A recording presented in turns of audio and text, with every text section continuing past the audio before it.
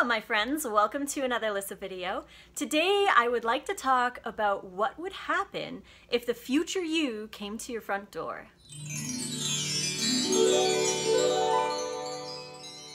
So now whether you close your eyes to listen to this and imagine it in detail or just listen, either way is good, but I want you to pretend that your future self comes to your front door. Now, there are two scenarios to this. We're going to play both of them out, and you're going to see that each one has the same solution. So the first you comes to your front door, and they're fit, their skin is glowing, um, they're vibrant, they're full of energy, their health issues are gone, possibly all of them. Uh, and they're just loving life and they look vibrant and they look young for being, you know, 10 or 15 years in the future. You ask them, you say, What are you doing? Wow, this, this could be me. Uh, how do I get there?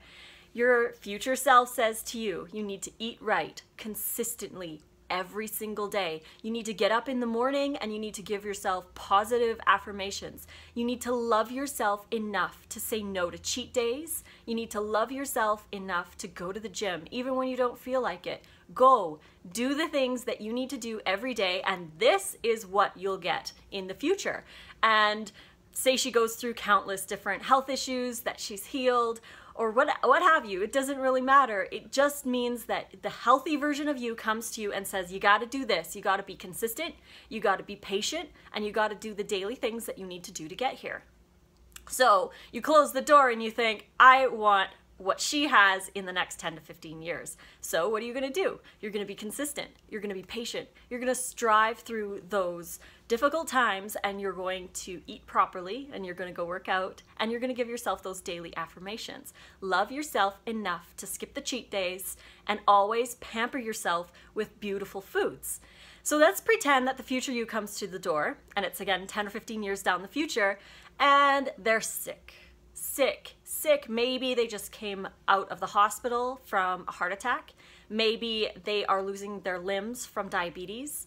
Maybe they're going blind from diabetes. Maybe their joints are so painful that they have to walk with cane now.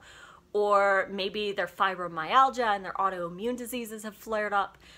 It could be countless things. Perhaps they look gray. Um, they have way more wrinkles than you'd expect.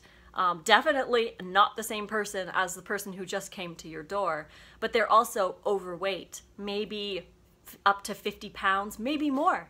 And this future you says, I am coming here with a warning for you. I need you to be consistent. I need you to be patient. I need you to love yourself enough to give yourself proper foods. Skip those cheat days that you really want. You don't want to end up like me. You need to do this. You need to take the time to prepare your meals. You need to take the time to plan and give yourself those positive affirmations because I didn't do it for the last 10 to 15 years and look where I am. And I don't want you to get here. I want you to be healthy. I want you to avo avoid a lot of the things that I have. So you close the door and you think, I really don't want to go down that route. So what are you to do? You're to be consistent. You're to be patient. You're to skip those cheat days. You're to plan your meals. You're to love yourself enough to give you proper foods. So either situation, you're getting the exact same response. So whether you want to be fit and healthy and vibrant and full of energy in the future, or you want to avoid being sick, overweight, um, run down, lethargic, Either situation involves being consistent. It involves being patient. It involves enough self-love to skip those cheat days and to give yourself the proper foods.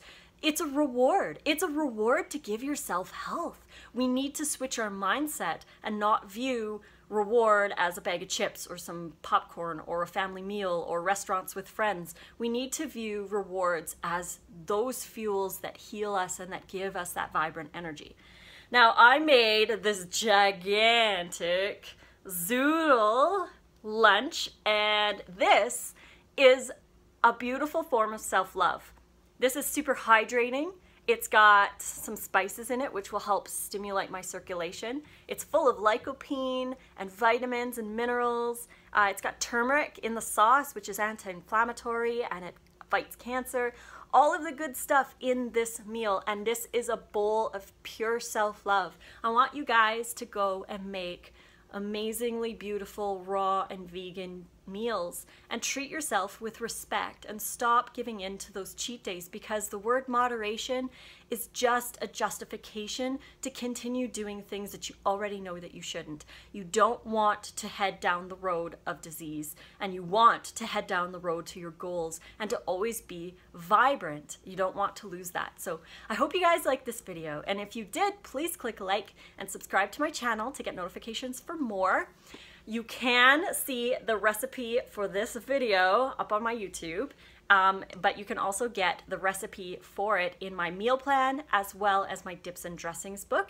The link right here, you can go to that and you can find it also in the description below and pick up a copy of that. Or you can head over to Amazon and on Amazon.com they have print versions of my books.